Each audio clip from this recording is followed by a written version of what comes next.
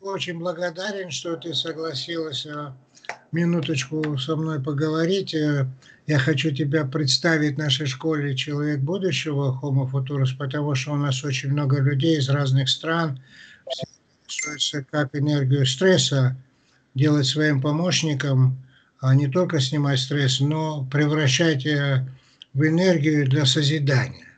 И там много у нас людей, которые интересуются и поэзией, и сами пишут, и рисуют сами. Вот. И, и я тебя люблю не только потому, что мы старые друзья, а не только потому, что ты гений, не только потому, что в Фейсбуке они все могут посмотреть Дина Магомедова, профессор наш, наш уважаемый, не только потому, что муж твой, о Господи, памяти моего сердца, а, не только потому, что наш друг Самсон был тоже в памяти моего сердца, который меня научил, вообще открыл глаза поэзии, что такое поэзия, когда читал мне стихи «Сестры тяжести, нежность, одинаковые ваши приметы». Мандельштам, он мне открыл поэзию. А я хотел у тебя спросить. Вот я обратил внимание, поскольку сейчас момент у меня о психологии восприятия о слоге, о слоге. Э, хотел у тебя спросить. Э, вот э, каждое слово, которое человек читает или видит, у него вызывает множество спонтанных вопросов. И в зависимости от того, как следующее слово отвечает или не отвечает на эти вопросы, зависит сканирование его внимания. Он то находится в напряжении, то расслабляется таким волнообразным образом. Вот, например, мне Самсон тогда прочитал строчку «Что в имени тебе моем?» Вот когда, значит, говоришь, что в имени, возникает вопрос, каком, чьем, а на вопрос нет ответа. Он говорит «тебе», а потом отвечает «моем». И получается поэтическая строка – а вот э, библейский текст, например, линейный, например, «И сказал, кто, что, кому, Бог, что, да, что, да, будет, что, свет, ну и, и стал, что, свет». Такое линейное, то есть поэтому многовековая фильтрация этих фраз привела к тому, что там такой текст, который прямо идет э, как по маслу. Читаешь без всяких вот этих вот, ну, линейный такой. И то же самое я заметил в музыке. Например, какие-то какие там идут, и ты уже ждешь, когда будет «во», а там этого «во» нету, а есть какое-то ответвление, а ты в ожидании, а потом это «бог» и получилось. То есть вот какое-то, может быть, я не очень понятно говорю мысль. Я слушаю тебя. Я слушаю и пытаюсь понять. Да, да, это очень хорошо. Вот ты тогда гениальную статью написала о гипертексте и идеальные детали. А. Не гипертексте, а сверхтексте. Сверхтексте, да. И идеальные это детали. Это разные. Да, да, разные. Я не называю, я не, я не называю это гипертекстом. Мы назвали с Натаном это сверхтекст и сверхдеталь и сверхдеталь. Но я потом об этом буду еще рассказывать э, в следующем ролике на примере живописи, потому что там то же самое. А, там, например, картину в целом видишь, э, а когда войдешь э, в деталь какую-то рисовать, рисовать, целое теряешь из поля зрения, и там так хорошо нарисуешь, а потом посмотришь, думаешь, что ты такое сделал, потому что целостность потерял. Ну и в литературе тоже так же, да? Вот э, кто интересуется этим, могут э, посмотреть э, Дина Магомедова в Фейсбуке. Филолог, литературовед, педагог. Ну, много-много-много чего. Умный человек такой, великий. Вот. Поэтому я еще раз хотел тебя спросить вот о чем. Я поясню еще раз. Значит, по мне, как психологу, когда я, например, говорю по телефону с кем-то, я ему задаю вопрос, ты во сколько приедешь? А он вместо ответа мне говорит, да, ты знаешь, вот я думаю, я так понимаю, что у него, наверное, много времени. Потому что вот этот э, симптом, э, что он не торопится мне сразу дать ответ. Э, и психологически получается, что я так воспринимаю, что у него много времени, потому что, а вдруг сейчас э, провод оборвется, и он так и не успеет мне сказать ответ на мой вопрос, потому что он начал сначала комментировать, что вот он сегодня думал, а, пока он комментарий дает вместо ответа, а, как, ну, о чем-то другом. Но у меня такое ощущение возникает, у меня такое состояние, я жду ответа, а он в это время к этому подводит, а связь может оборваться. И, и поэтому и в стихах тоже так же.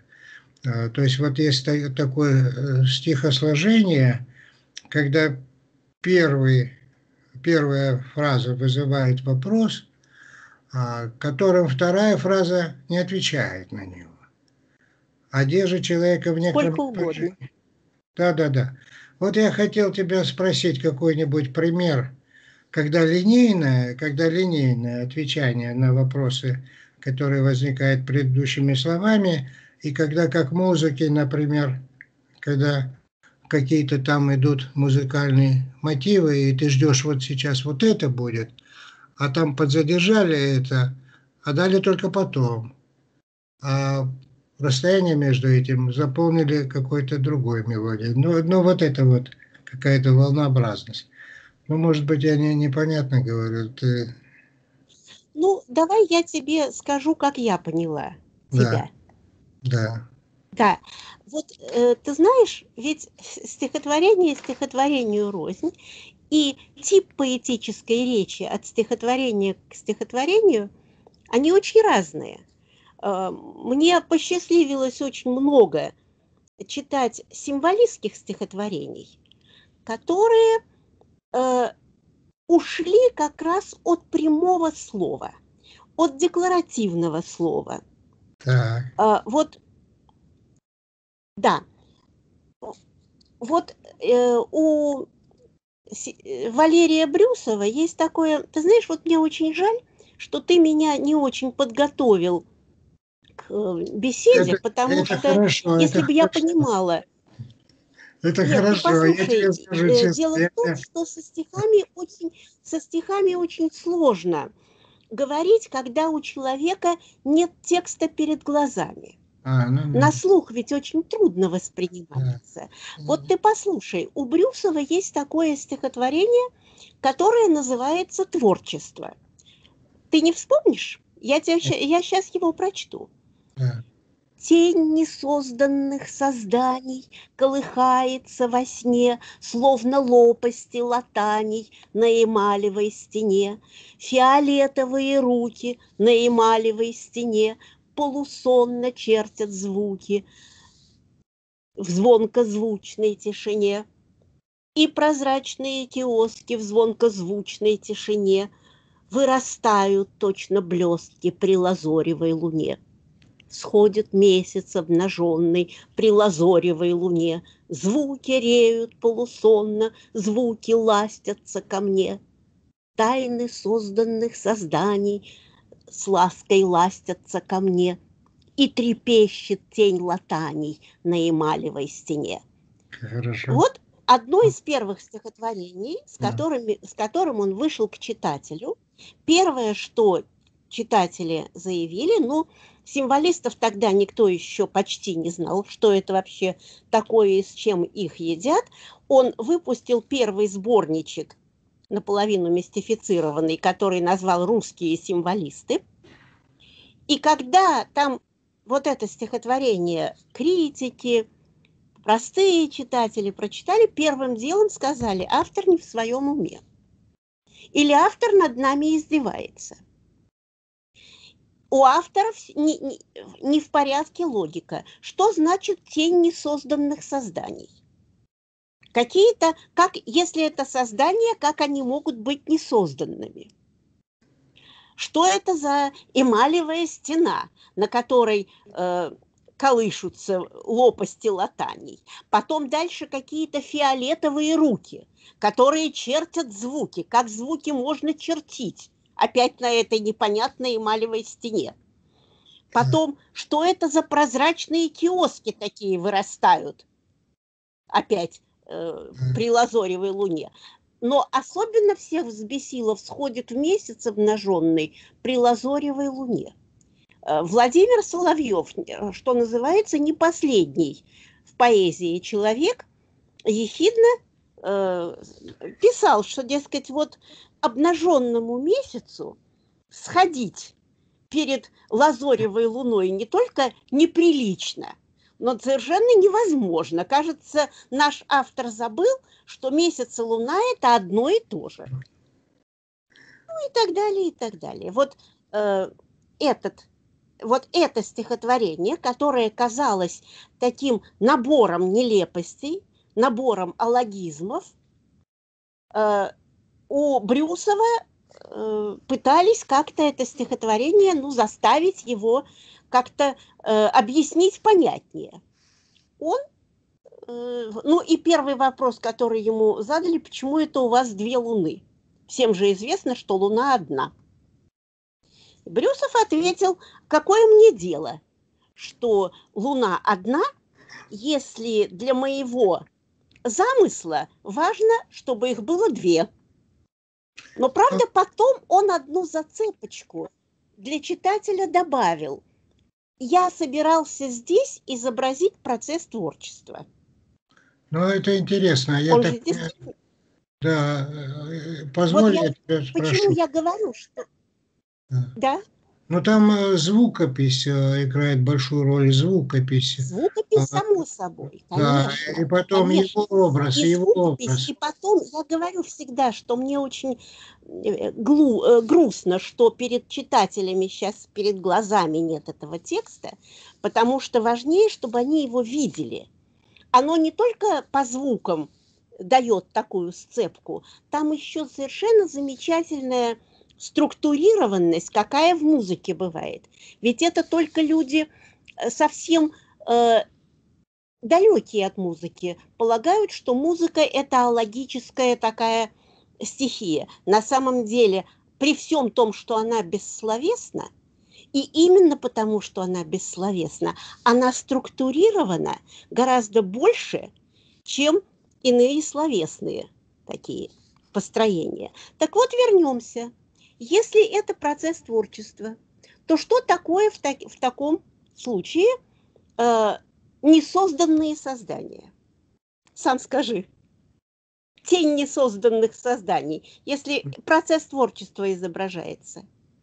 Ну, я думаю, что это замыслы, может быть. Конечно, именно так. Это замысел.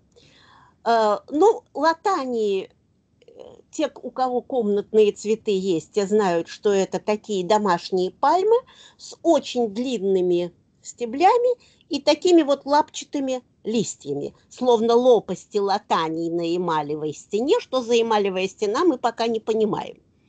Пошли дальше фиолетовые руки на эмалевой стене, полусонно чертят звуки при лазоревой луне. Мы пока не очень понимаем все-таки, что это за фиолетовые руки, ну, можно догадаться, что это тень вот этой самой э, стебля и лапчатого листа, как руки. Но что за эмалевая стена, все равно непонятно. Звуки появились. Значит, сначала была просто тень, замысел. Теперь замысел обрел звучание. Полусонно чертят звуки при лазоревой луне. То есть к тому, что вот некое такое видение, появился звук. Дальше прозрачные киоски при лазоревой луне. Пространство обретает замысел. Это, заметь, пока что мы только гадаем. Пространство некое. Почему в виде прозрачного киоска?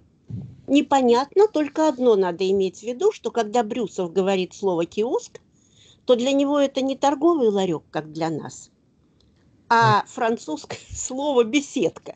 А, но мы это не знаем, Значит, допустим, да, да. Мы Я... не знаем, но э, сейчас при публикации этого стихотворения обычно звездочку делают и делают Я... перевод. Киоск французская, да, беседка. Да. Я понял, я понял.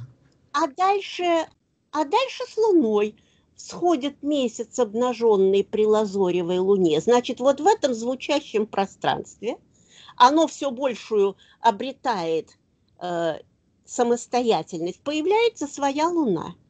И вот теперь вопрос, как это не, не может быть второй луны? Луна на небе и луна я, я, я понимаю, на картине. Я понимаю, вот то есть у, у него свои коды этих образов, а, и он там их наполняет своим смыслом, своими ассоциациями, но там самая главная целостность и ритм, и ритм. Целостность. Вот он эту целостность потихонечку и творит, и все. А дальше оно уже самостоятельно. Тайны, не тень не созданных, а тайны созданных созданий с лаской ластятся ко мне в самом финале. И трепещет тень латаний на эмалевой стене. Вроде, вроде так вот пока э, кое-как мы сквозь этот сквозь эту алогичность прорвались и некую логику начертили. Расшифровываем. Но, да. да, вот ты хорошо сказал, расшифровываем. Но понимаешь, может быть, мы бы дальше и кое-что ведь осталось непонятным. Ну, эмалевая. Что за эмалевая стена-то? Да. Что за эмалевая стена, непонятно. Почему пространство обретается как прозрачный киоск? Вот не очень понятно, да, совсем непонятно. И так бы, может, и было непонятно. Если и, бы к Брюсову в гости... И, и мотивация непонятна. Сейчас я тебе скажу. Да. Если бы к Брюсову в гости не да. явился молодой поэт, уже через годы, когда вот это творчество было написано, Владислав Ходосевич, и, и описал комнату, в которую он попал. А, ну понятно. Да. Что это зал, где окно напротив э, печки с эмалевыми изразцами. На окне на подоконнике стоит горшок с латаниями. Вот они, листья, значит, эмалевые изразцы, вот она эмалевая стена. Вот тень на этой печке, когда латании там отражаются. И даже за окном взошла луна, вот она там взошла. И оконные рамы при освещении выглядят именно прозрачными вот этими беседками. Я это понял. Подозевич вот... сказал, Валерий Яковлевич, вы об этом писали в творчестве? Брюсов сказал, не знаю, не знаю.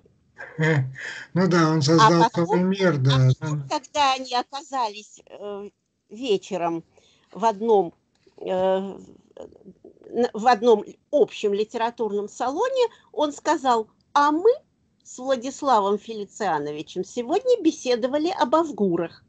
Авгуры – носители тайного знания. То есть он дал ему понять, да. что он угадал. Да, вот я хочу тебя Значит, спросить. что перед нами такое? Перед нами особый вид текста, который выстроен как, ты правильно сказал, что мы расшифровываем, который выстроен как шифр это стихотворение «Шифр», ну да, где он прямо почти мире, ничего не называется. Он в своем внутреннем мире создал это. Он, с одной стороны, в своем внутреннем мире, с другой стороны, он очень э, планомерно ничего впрямую не называет. Я это Там понимаю. либо пропускается какое-нибудь звено, что не названо, печка, да. Вот если бы он сказал эмалевая, эмалевая печка, подоконник, да, да, да. Вот всего-навсего печка, подоконник и горшок с растениями. А тогда, тогда позволь, я тебя спрошу. Тогда я тебя спрошу. Угу. Ответственность поэта. Ответственность поэта. А, почему он смел а, не позволить себе не помочь э, читателю понять, о чем он говорит? Оставаясь он ему помог по-другому. Как? Он ему помог по-другому. Он помог ему э, стать сотву, э, сотворцом. То это есть это, это, очень это не в уши складывается, а дает возможность гадать, разгадывать и приходить вот ну, к неким... Это, это как абстракционизм. Ведь вот догадался же без... Как абстракционизм какой-то. Да, человек рисует свой внутренний мир, который ему понятен, а человек в других кодах живет, э, и ему это вовсе непонятно. Я понимаю. Слушай, я хочу ну, тебя спросить. Посмотри, вот у меня вот у меня картина Кирилла Соколова. Сейчас я ее сниму. А нет, ее так не снимешь. Вот тут вроде огромный рог, красный квадрат и другой квадрат, на котором что-то вроде силуэта бычьей морды. Я посмотрела, посмотрела и сказала, Кирилл Константинович, это гибнущий Тореадор? Он очень обрадовался и да, сказал, и так тоже можно. Да, да. Слушай, я хочу и тебя спросить. Я хочу тебя спросить. А, в определении, что такое творческий подход, э, я придумал такое определение, что творческий подход – это поиск наиболее простого решения сложной задачи через призму общечеловеческих ценностей. Ну, То есть поиск наиболее... В да. Но пути очень разные. И в одном случае э, поэт или прозаик, кстати, пользуется прямым словом, а в другом случае это не прямое говорение, которое позволяет, вот Самсон очень любил э, такое, э, что э, од, одна точка рождает не одну единственную линию, а пучок смыслов. Не один смысл, а пучок смыслов. Я понимаю. Вот как раз такой, вот как раз такое стихотворение шифр, которое включает не пассивно воспринимающего читателя, а активную ответную ну, реакцию, да, вот она да. как раз эти пучки смысла и позволяет я понимаю, я понимаю. Можно будить в человеке его фантазии, такой неопределенностью, гармоничной неопределенностью, но будить его генерацию, чтобы он сам фантазировал. И при этом оставлять его свободным и, и говорить, да, может быть и так, может быть и так. А когда автор хочет, чтобы донести до него именно так, как он хотел, а, вот моя мама, она не понимала моих картин. Вот сегодня она, может быть, и поняла бы. Сегодня, может быть, она и поняла, потому что здесь, здесь есть больше конкретности. А раньше у меня было так. Я видел в картине, а я метафору делал, э, и перекресток метафоры с реальностью. Как бы вот такая была живопись. Она подошла, посмотрела на картину мою давно и сказала, ты меня извини, но я не понимаю. Потому что она думала, а если я нарисовал дерево, то должно быть дерево. Если я нарисовал забор, то должен быть забор. То есть как фотография.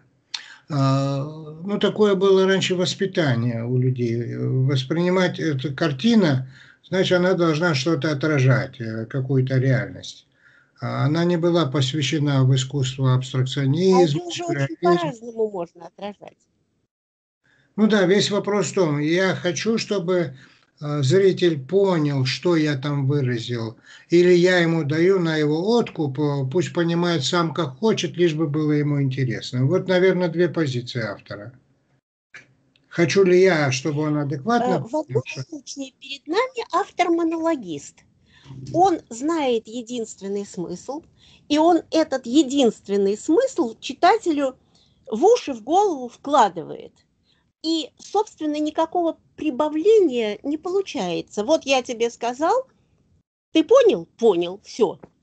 А есть случаи, когда читатель как бы этот смысл завершает и его еще и добавляет.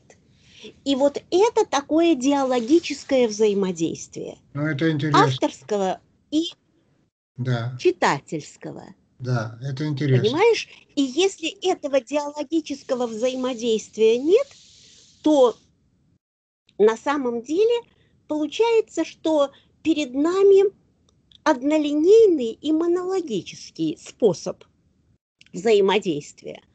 А вот не обязательно же так, как это у сделано, когда Эгоцентрика такая. Да. Самовыражение. Да. Понимаете, а как хотите, случае, автор а в другом право. случае тебе обязательно. Да. Да.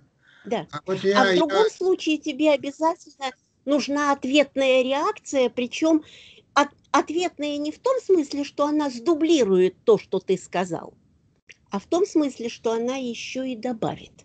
добавит. Вот я тебе скажу, что это стихотворение творчества я читаю с моими студентами не первый год, и во всех случаях я просто пускаю аудиторию вот на такое э, разгадывание, и, не, и вот поверишь, ну сколько у меня студентов за мои, ну, я, конечно, не 50 лет читаю с ними этот текст.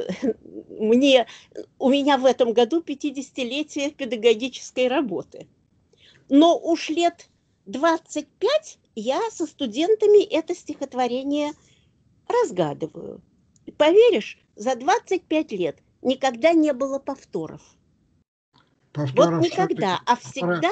Повторов что ты имеешь в виду? Повторов в том смысле, чтобы... Ну вот я тебе сейчас эту логику нарисовала, чтобы они вот точно так же по этой же э, системе прошли. У них совершенно разные пути и разные способы прочтения. И вот это я очень ценю. Я хочу понять, я хочу понять. Ты имеешь в виду интерпретация того, что сказал Брюсов, каждый воспринимает по-своему. То есть он интерпретирует... Вот интерпретацию того, что там у Брюсова нарисовано, что он изображает. Ну, то есть эти студенты никогда а вот не повторились в том, как они это дело видели, да? То есть все видели по-разному, да? Понимаешь, какие-то какие повторя константы и бывали, но сколько там было вариаций при этих константах? Нет, скажи, она, она, она что ты а рассчитывала а как педагог? Ты на что рассчитывала как педагог? Что кто-то из них догадается? Именно на это. А как они могут догадаться, Нет, если... именно на это именно на это, что нет неправильных ответов, что они все так или иначе к смыслу что-то добавляют. Нет неправильных ответов. Они все так или иначе какую-то ниточку выхватывают, подожди, и за нее так. Подожди, подожди, может быть, ты как творческий человек – добавляешь э, в этом их диалоге с Брюсовым, студента с Брюсовым, добавляешь свою теперь интерпретацию творчески. Я Может... не то чтобы добавляю, а мы вместе добавляем. Потому что зачастую они такое увидят, чего... А знаешь, вот интересно было однажды. Я читала лекцию школьным учителям. Да. Причем учителям старшего поколения – Раньше ведь у нас э, в университетах, даже на филфаках, не умели прочитывать символистские тексты. Очень поверхностно читали. И вот мы с ними дошли до конца, и вдруг одна учительница так разочарованно говорит, «А, как неинтересно стало. Было так загадочно, так нет, красиво, это, это, так необычно. это, это другая сторона жизни. И Я вдруг печка, слушай, слушай, и вдруг печка, горшок. Как же так? И тут до меня дошло, она совершенно права. Здесь точку ставить нельзя. Я понимаю. Потому что дело не в том, что мы добрались до первоосновы, а дело в том, что стихотворение о чем? Как из этого совсем простого, бытового и некрасивого рождается необычное, загадочное, ну, это и другая совсем задача. не похоже. Э, э, это вот другая задача. Это другая задача. Это психология это другой творчества. Уровень. Это ну, другой да, уровень. да, это все зависит от цели. Потому что когда мы определяем эффективность, мы должны понимать э, в отношении к чему. Вот есть тест Роршаха в психиатрии. Это берешь ручку чернильную, брызгаешь на Э, белый лист бумаги, пятна и говоришь, что ты здесь видишь. Один видит таракана, другой видит дом, третий пальму, четвертый красивую девушку и так далее. Но все зависит от цели. Для чего мы это сделали? Точно так же Брюсов. Он так брызнул, а теперь зависит от цели. Для чего он это сделал? Чтобы изучить э, психологию восприятия э, своих э, читателей или для того, чтобы посмеяться над ними, или для того, чтобы сказать им, я выразил так, как хотел, я вижу так мир, а вы смотрите, автор имеет право выразить так, как он хочет. Но все зависит от того, для чего мы это делаем. Потому что истина, она в контексте. Нужно знать э, цель э, и систему отчета. А так просто вот рассуждать о стихотворении, не зная, в каком русле, зачем э, и в чем там педагогическая изюминка, тест Рошиха я бы тоже показал и сказал, ребята, определяйте, кто, кто чего здесь видит. Каждый бы видел по-своему. Я бы 20 лет этим занимался, и тебе бы сказал, Диночка, 20 лет я работаю, и 20 лет никто не повторился. Или наоборот. Очень многие повторились, потому что на самом деле, вот так, если приглядеться, там больше похоже на дерево. На этом листе. Ну, к примеру, вот так. Ну да, и, или на дерево, или на солнце, или еще на что-нибудь такое. Очень интересно, э, это очень да. интересно, да, очень интересно. Я тебя очень прошу, вот после нашего разговора, ты найди еще раз время, э, я еще лучше сформулирую то, что я хотел сказать. Ты, ты очень правильно мне сказала. Самое главное, правильно задать вопрос. Ты мне очень правильно сказала, да. А, но я вот думал, что я да. задам его. Я думал, что я смогу задать. Видишь, я оказался не готовым. Я еще подумаю, хорошо? Подумай. Хорошо, конечно. Ты согласишься конечно. через несколько дней еще раз поговорить? Да, конечно, конечно. Через несколько дней. Да, Завтра спасибо. у меня, к сожалению, день уже за, забитый, а через парочку дней, пожалуйста, поговорим и о блоке, ну, в общем, ты знаешь все это. Знаешь, что я тебе хочу сказать? А, у нас в школе «Человек будущего» очень много интересующихся людей. Очень много интересующихся людей. И у нас есть то, чем мы все вместе занимаемся. Мы создаем науку человечности. Мы определяем понятие, что такое любовь, что такое сопереживание, сострадание, что такое созидание, что такое чувство бесценности живого – и я придумал такую вещь, что уже создавая совместно эту науку человечности, потому что ни религия, ни искусство, ни литература не спасли от пандемии. Значит, нужно науку, ну а науку, доступную для всех, как э, физика, химия, она и для спортсмена, и для таксиста, и для штангиста, и для министра, для всех, э, которая не разделяет людей, а объединяет людей э, независимо от их культуры, географии, религиозности. Э, для всех единый общий язык, вот наука человечности. И вот я придумал, что пока мы ее создаем, э, она в нас и генерируется, то есть она в нас и востребует эти человеческие качества, напоминает о них, актуализирует их. И вот сам процесс создания этой науки совместный, там же у меня из многих стран мира люди, уже, уже очеловечивают то, что у нас сейчас расчеловечивается. Вот сейчас система э, мироустройства такова, что сейчас новый виток неопределенности, э, катаклизмы, кризисы, точки бифуркации, все меняется, и в этой неопределенности э, манипуляции, все прочее, десятые, пандемии, все прочее, расчеловечение происходит.